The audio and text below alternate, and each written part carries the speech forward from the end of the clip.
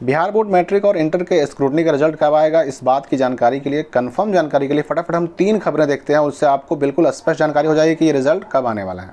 देखिए, सबसे पहली खबर यह है कि 14 अप्रैल तक होगा स्क्रूटनी का कार्य। ये इंटरमीडिएट की बात की जा रही है कि इंटरमीडिएट उत्तर पुस्तिकाओं का स्क्रूटनी कार्य 14 अप्रैल तक होगा और यह जानकारी डीओ ने दी है। उन्होंने कहा कि स्क्रूटनी कार्य को समय पर पूरा करा लिया जाएगा। 14 अप्रैल तक जब स्क्रूटनी का काम होगा तो ज़ाहिर सी बात है कि रिज़ल्ट इसके बाद ही आने वाला है। ये तो हो गई पहली खबर।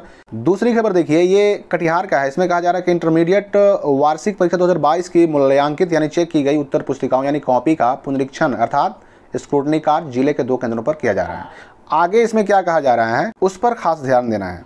देखिए, यहाँ पे कहा जा रहा है कि उत्तर पुस्तिकाओं का अलग अलग विषयों में पुनरीक्षण कार्य करके, यानी स्क्रूटनी करके प्रतिवेदन, यानी रिपोर्ट 15 अप्रैल तक हर हाल में बोर्ड को भेज देना है। वहाँ कहा गया 14 अप्रैल तक, यहाँ कहा जा रहा है 15 अप्रैल तक, यानी 15 अप्रैल तक बोर्ड को इसका रिपोर्ट दे दिया जाना है इंटरमीडिएट की कॉपियों का। अच्छा कुछ खास बातें यहाँ पर और बताई जा रही हैं, वो भी देख लीजिए कि ये स्क्रूटनी में चेक क्या क्या होता है? तो अगर कॉपी के अंदर के पेज पर जो अंक मिले हैं, उन अंकों को अगर मेन पेज पर नहीं लिखा गया तो उसमें सुधार किया जाएगा। और जो अंक आपको मिले हैं, अगर उनको जोड़ने में कहीं कोई गलती हुई है तो उसमें सुधार किया जाएगा। और यदि कोई सवाल का जवाब या जवाब का कोई खंड, कोई हिस्सा चेक नहीं किया गया तो उसको चेक करके उसके प्राप्तांक में भी सुधार किया जाएगा।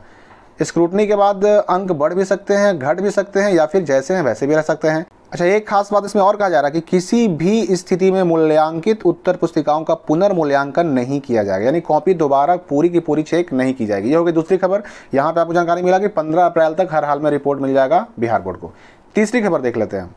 ये हिंदुस्तान की खबर है, मुजफ्फरपुर की। इसमें कहा जा रहा है कि इंटर में साइंस की सबसे अधिक कॉपियाँ स्क्रूटनी के लिए भेजी गई हैं। करीब करीब इंटर की साढ़े ग्यारह हज़ार कॉपियाँ स्क्रूटनी के लिए लाई गई हैं। बोर्ड ने सभी मूल्यांकन केंद्रों को पाँच दिन में ही स्क्रूटनी का काम पूरा करने का आदेश दिया है, निर्देश दिया है।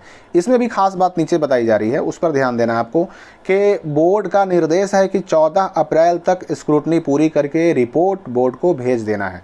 यानी 14 और 15 दो डेट हमें मिला कि इन दोनों डेट तक हर हाल में स्क्रूटनी का रिपोर्ट बोर्ड को मिल जाना चाहिए।